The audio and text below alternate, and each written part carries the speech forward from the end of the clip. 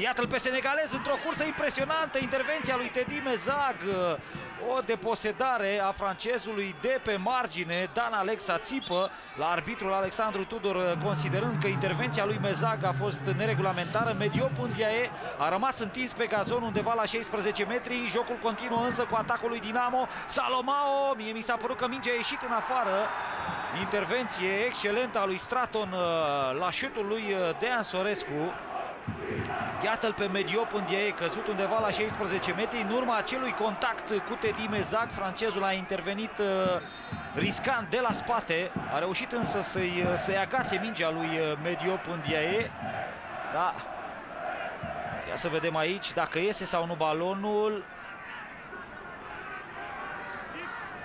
E posibil să, să fi centrat exact uh, de pe linie. Da, este corectă decizia arbitrilor de a fi lăsat jocul să meargă mai departe, iar finalizarea lui uh, Sorescu periculoasă